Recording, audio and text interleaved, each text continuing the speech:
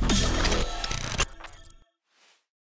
Hi and welcome back to a new video. Last week I was visiting ASUS HQ in Taiwan and I was discussing the NitroPath memory feature with them. This was already released and announced during previous Gamescom in August. I was hosting a live stream, at least for my German YouTube channel. I was discussing it briefly there and at that point I wasn't sure if that's just the typical marketing blah blah or if it's actually doing something. ASUS was advertising that it allows to increase your memory speed by about 400 megatransfers and yeah, so discussing this with the engineers, it was much more technically interesting than I initially thought. And we will look at this in today's video.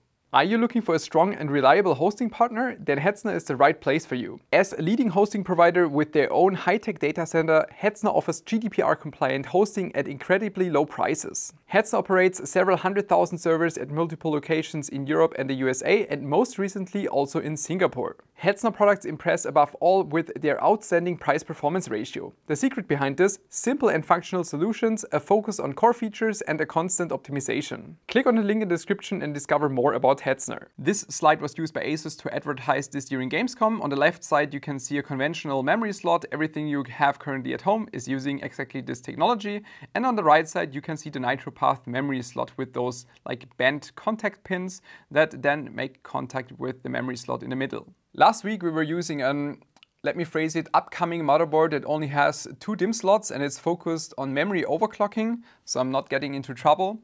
And this motherboard, the upcoming one for Intel, didn't have the NitroPath feature, which didn't make sense to me. Because I thought this NitroPath feature, like new memory DIMM slots, would enhance memory overclocking. So why would an upcoming memory-focused overclocking board not have it?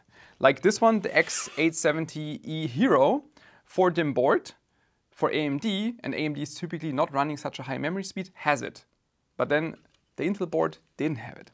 That was quite odd. Then I asked the R&D team what the reason for this is.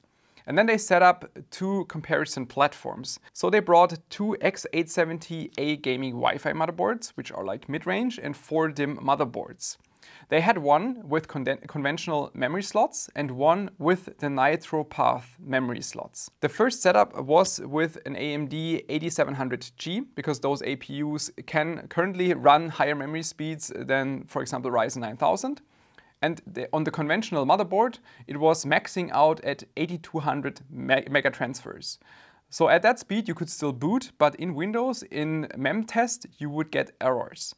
And then they swapped the same CPU, same memory DIMMs onto the NitroPath motherboard and 8600 megatransfers would run memtest stable. So that was again the moment when I asked myself, okay, that's cool, but why is it again not on the upcoming uh, 2DIMM motherboard that is focused on memory overclocking.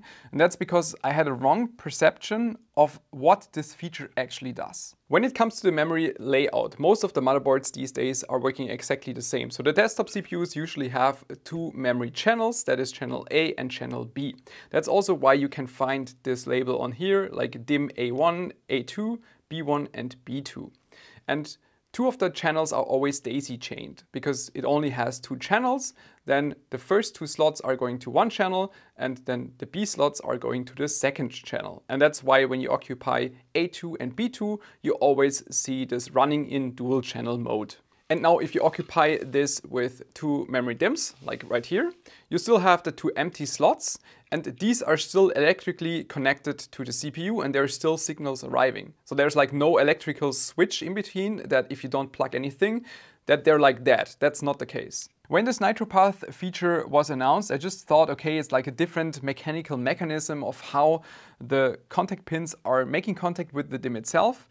And because this is also like having a little bit higher mounting pressure than a conventional DIMM slot, that this is the real benefit. But that's actually not the case. It was just about the empty slots, not about the occupied slots, which is what I had like completely wrong. If you want to measure the signal quality of such a memory slot, for example, you can do that with an eye chart. If you look at the binary signal, it's in the original form like a rectangle shape, but if it's very high speed, like here between, let's say, 3000 and 500 megahertz, it becomes much more like sinus, sinus, sinus, sinus shaped. And that's because of a lot of interference and things in between. And with an eye chart, you can identify if the signal is still clean enough or if it's already overlapping and you will get some errors. This is one of the charts where you can see it with the blue and green lines. We can also see state 0 and state 1, like 0 at 0 volt and then 1 at 0.4 volt. And due to this very high clock, you can see that this is no longer the typical rectangle theoretical form, but like a sinus shape because of the high speed. And in between there is this hole and that's what they call the eye marked in red. And depending of the size of this eye, that is determined in picoseconds, that is the time, and the height in millivolt, so the voltage, you can determine how good the signal quality is. So the bigger the eye, the better, because you won't have overlapping signals. This example we're looking at right now was also provided by ASUS. And this is running with 6400 megatransfers, which equals uh, 3200 megahertz. We can see on the left side config 1, which is testing the A2 memory slot, and config 2 on the bottom is testing the B2 memory slot. On the right, the old connector is the conventional memory slot, and the new connector on the right is the NitroPath memory slot.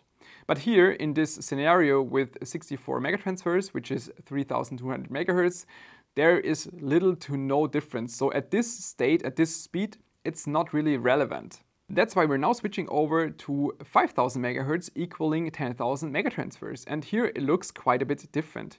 The traditional memory slot doesn't have this eye anymore in the center, so you will have some memory interference, some overlapping signals, which will lead to errors, or even that you're not even possible or not even able to boot this kind of speed. Then again, on the right side with the NitroPath slot, you can see a significant difference. The eye became a lot smaller compared to the previous example with 6400 megatransfers, but it's still visible.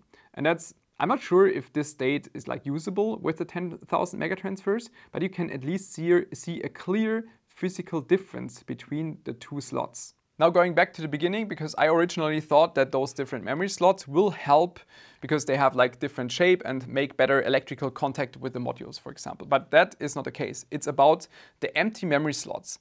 Each of the memory slots contains 288 pins. That was the same for DDR4, it's still the same for DDR5, just with the fact that now we're just approaching very high speeds. Let's say with 10,000 megatransfers uh, approaching with DDR5, that is just very, very high Uh, frequency and will need very good signaling quality.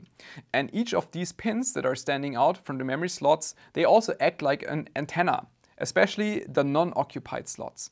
So every non-occupied slot is interfering with the occupied slot right next to it. So the higher you go in frequency, the more relevant this problem becomes that those empty slots and the empty pins act like as an antenna and have bad signal impact on the memory DIMM right next to it. Now, ASUS did a lot of testing about this and they had some very cool images, which they also gave to me. What they did was making PCBs with memory slots sitting on top, also with memory DIMMs inserted. Then they put everything into epoxy, hardened it, then they cut through it, sanded, polished everything, so you can get a very nice cross section to see how this looks in reality. The left image now shows the cross section of a conventional memory slot where there is no memory module installed yet. The dark area is the plastic of the socket and in the center you can see the contact pin that also has this rounded shape that then eventually makes contact with the memory DIMM itself. That's what you can see on the right image. So that is also again a conventional slot but just with the memory module installed. That you can see in the center has a quite thick PCB and you can also see that it's a multi-layer PCB and has this uh, copper contact on left and right, which forms contact with the pins of the memory module, which are forced out a little bit to left and right because the module was inserted. Now switching over to the NitroPath memory slot. Left side again without memory module and on the right side with the module inserted. Now that's quite interesting because this is a little bit different to what they showed in the original marketing slides. Could be that this was some kind of technically like more relevant and probably important feature that they wanted to hide a little bit. So thanks for providing those cross sections anyway. You can see that it was bent down. It is a lot shorter than the conventional slot by about 40% and only this like bend section is then making contact with the memory DIMM itself. So to recap this, it's mainly a feature that helps on the empty DIMM slot and not on the occupied one. And that's also why you probably won't find this on like an MSI Unify X or like an Asus Apex motherboard because it doesn't really help if it's just a 2 DIMM motherboard. That's why I was just completely wrong.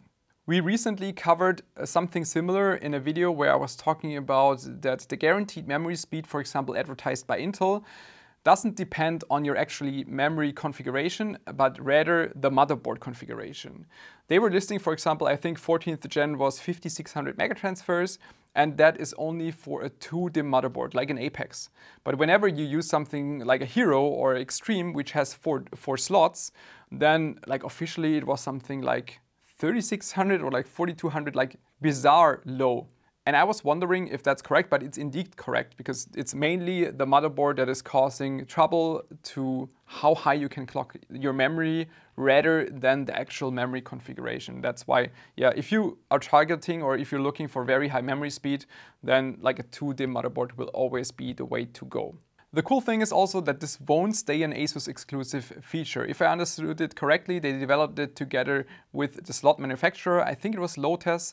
And now it will be exclusive for ASUS for like a year. And afterwards, it's going to be an open standard and everybody can make use of that. So I'm pretty sure we will also find it on like MSI, Gigabyte, or like an ASRock motherboard. And that should definitely help memory clocking in the future. But yeah, I just wanted to cover this because I, I underestimated how yeah, problematic just the empty memory slot could be. I hope you enjoyed this video. See you next time. Bye bye.